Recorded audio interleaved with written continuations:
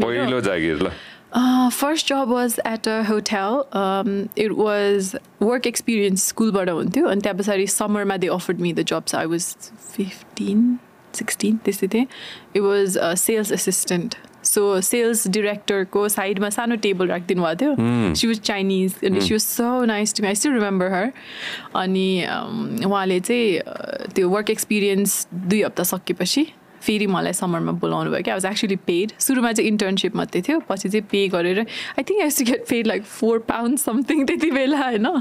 तर that was my first job so all I had to do was त्यो database हुन्छ नि बनाउने एक्सेल सिटमा एन्टर गर्नुपर्ने फिजिकल ऊ कपीदेखि त्यो गर्ने मात्रै जब थियो। अनि त्यहाँ पछाडि I work at Miss Selfridges त्यो चाहिँ युकेमा क्लोदिङ ब्रान्ड हो। त्यसमा त्यसमा सेल्स एसोसिएट सो त्यो चाहिँ डेभेनम्सभित्र थियो पहिला चाहिँ। अनि मिस सेल्फ्रिजमा चाहिँ one of the perks was त्यहीँको लुगा लगाएर बस्नु पर्थ्यो कि so we could style our styles हुन्छ नि राम्रो बनिएर बस्नुपर्ने। अनि हेल्प द कस्टमर्स सबै कुरा त्यो भयो। And then I worked at a hospital so as a health care assistant so I work त्यहाँनिर पनि अनि त्यहाँ पछाडि आई वर्कड त्यहाँपछि मैले I was doing my undergrad so I didn't work for some time I think second इयरको हाफसम्म काम गरेँ त्यहाँ पछाडि इट बिकेम डिफिकल्ट अनि थर्ड इयर सकेपछि चाहिँ I was offered a position उसमा युस्टन स्क्वायर होटलमा चाहिँ मिटिङ्स एन्ड इभेन्ट्स एक्जिक्युटिभ भनेर काम गर्दै so I got my own office हुन्छ नि। It was a nice job के एकदमै राम्रो वेल पेड जब थियो। I don't know. I was just like, I can't do this. I have to go back to Nepal. And I started volunteering and I came back to Nepal. अनि त्यहाँ पछाडि गरेको जब भनेको acting त्यति हो। धेरै छ नि गरेको तर all different kind different kind एउटा इन्ट्रेस्टिङ कुरा थाहा छ पन्ध्र वर्ष सोह्र वर्ष हुँदाखेरि जुन गरियो नि होइन?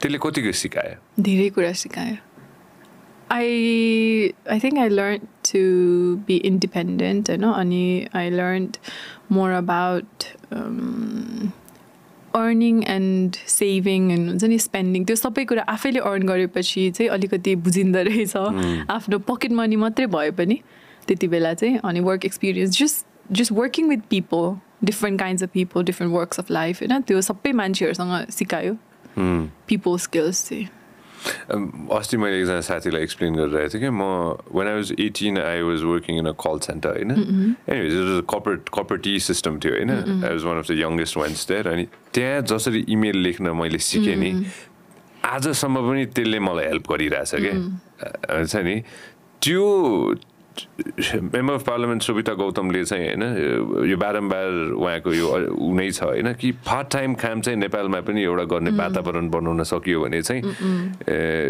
it's gonna be better for the youth भनेर कि होइन you think on this like work part time work when you're young के नट सिक्सटिन अब आई डोन्ट नो. त्यो सेफ स्पेस कति ठाउँमा. हुन्छ कति ठाउँमा हुँदैन मैले देख्दा त धेरैजना मैले देखेको छु there working like cafe culture एकदम राम्रो छ यहाँ बरेस्टाजहरू होइन अनि इभन इन्टर्नसिप गर्नेहरू मैले। अहिले देख्दाखेरि पहिला कम्पेयर टु आई थिङ्क न even like few years ago होइन अहिले धेरै काठमाडौँमा होस् धरानमा आई कम फ्रम धरान अनि इभन मेरो भाइ बहिनीहरू पनि के they like really eager to work have their own income त्यो चाहिँ मैले देखिरहेको so it's a good change अनि त्यो हुनुपर्छ जस्तो पनि लाग्छ whether it's outside of Nepal हुन्छ नि नेपालमै जहाँ आफू बसेको छ जस्तो काम भए पनि। बाहिरबाट सिक्नुपर्ने भनेको चाहिँ दे डोन्ट जज यु फर यर वर्क होइन? If you're unemployed then you get जज होइन?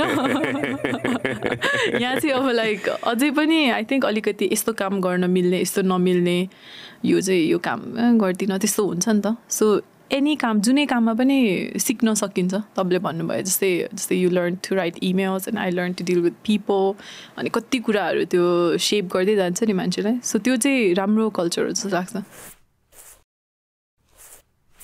तपाईँले हाम्रो क्लिप एकदमै इन्जोय गर्नुभयो होला। अब पुरै भिडियो हेर्नको लागि चाहिँ युट्युबमा सब्सक्राइब गर्न नबिर्सिनु होला